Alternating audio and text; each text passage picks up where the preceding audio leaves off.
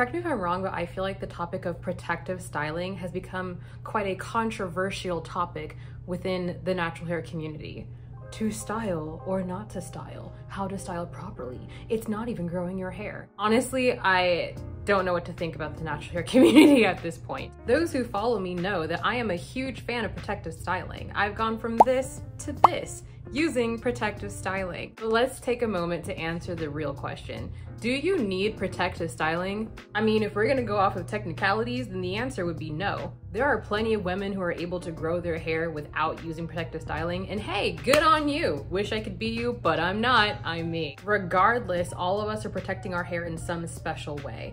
I feel like as long as you're being careful and you're listening to your own hair's needs, then you shouldn't have a problem. If you're in pain, probably shouldn't do it. If you're seeing white bumps, you probably shouldn't do it. If you have to pay somebody, then, I mean, I'm not gonna tell you how to spend your money, but you're the ones who told me that you wanted to work on your financial freedom. So if you are going to use protective styling, what are our options? Wigs! I have probably owned maybe like two or three wigs in my entire lifetime. Um, and I, for one, have just decided that I am not a fan.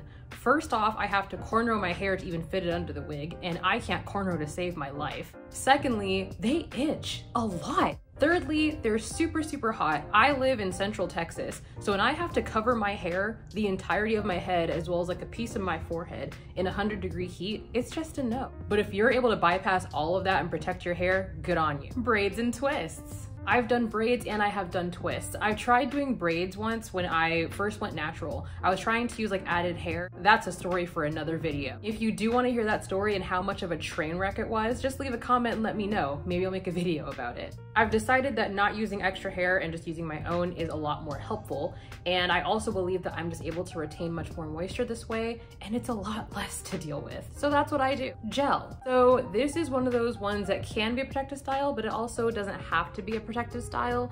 Um, there are some YouTubers who are growing their hair with wash and goes and just using gel, especially on the ends of their hair to kind of like freeze everything in place. I made a video a little bit ago about wash and goes and whatnot and how to like how I'm trying to create the perfect one for me. So far, I've not been able to find growth from these things, but hey, if, if you do, then you do you. Do what works. Bun. I for as far as for growing my hair, I do love buns. I usually put my twists my twists down and then put them in a bun. I don't put my twists down and then in a bun. I make twists out of my hair and then I put those twists in a bun. I wore buns for the majority of 2019, which is how I was able to grow my hair in the first place. There are some women who just take their hair and put it up in a bun and they grow it like that. I can't do that. I wake up with a bird's nest on top of my head. So again, if you're able to do it, you do you. Scarves. I experimented with a lot of scarves, I think within my, my first two years of being natural. I honestly think at the time I had more scarves than I had pairs of shoes. I had more scars than I had textbooks. I was a freshman, sophomore in college, by the way. That was a fun time. Learning how to tie them was a little bit difficult at first, especially if you weren't using the right kind of scarf. There are some scarves that I was wearing where I was literally taking like this big wool scarf that's supposed to be for winter time and I'm like, hey, I can fit this around my head. Why not? I'm not doing that again. I don't know what these other YouTubers are saying about how protective styling doesn't work and how you're protective styling wrong. I just say if it's too tight, it's not working. If it's too tiny, it's not working. Listen to your hair. I personally feel like your hair is like a baby. If you just listen to your hair, it'll tell you what it needs. Unfortunately, not everybody is patient enough to listen to the needs of others others. So now is the time. Hey, it's the beginning of a new year. It can be your New Year's resolution. Let's be more present and be more cognizant about what our hair is actually telling us. You know what, while we're here, let's just go ahead and debug some myths, okay, in the natural hair community. Myth number one, you need to use extra hair to protective style. No, no you don't.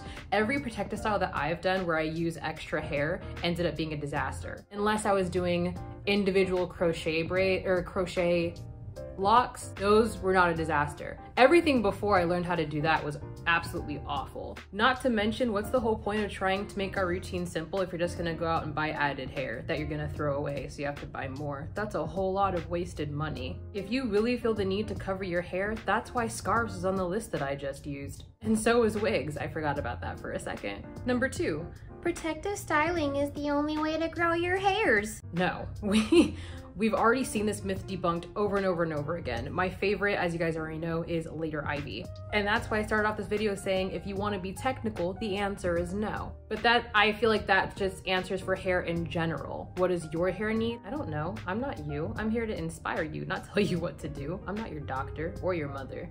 But if you're going to take time to play with your hair, make sure that you give your hair time to adjust. I say two months is a pretty good time. If you don't see any significant positive or negative change within two months, I say drop it. If you see significant negative change before that two months mark, drop it. There's no point in trying to do something to your hair for a whole two months when after three days your hair feels like you've been washing with Ajax. Number three, you can only keep it in for two weeks at a time. No, no, you don't have to do that. Granted, if you're going to keep your hair, I'm not talking to you. Now, I will say this if you are going to keep your hair in a protective style longer than two weeks, just make sure that your hair is properly protected and um what's the word? I forgot every, I suddenly forgot how to speak English. Prepared, that's the other word. Make sure your hair is prepared to actually be in a protective style for such a long period of time, whether it be, you know, two weeks, three weeks, a month. There are some people who go a couple of months. I am not one of those people. How you keep your hair, hands out of your hair for three months, that's beyond me. I couldn't do that. I like playing with this too much. Just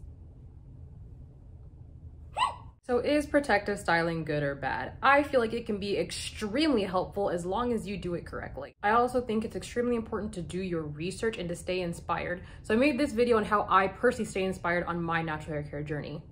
I believe in you.